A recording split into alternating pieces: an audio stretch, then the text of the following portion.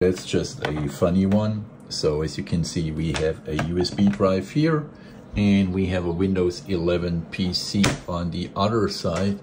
Now, I did not use a floppy disk in, I'd say almost 20 years. And let's just see what happens. So right now, nothing happens. Let's just see.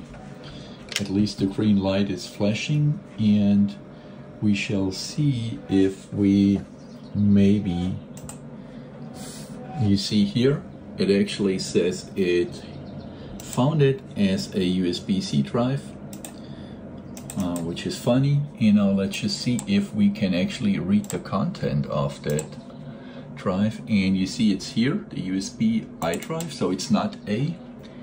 And there you see we have the files on here and now let's just check the properties and you can see it's a three and a half inch diskette drive which is plugged in via USB and it has the FAT file format of course and without any drivers needed you still can use actually a three and a half inch floppy disk if you choose to do so on your Windows 11 PC.